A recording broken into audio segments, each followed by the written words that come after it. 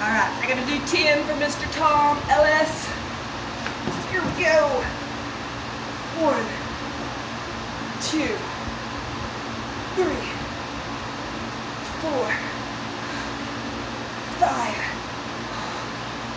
six, seven, eight, two more, nine, one more.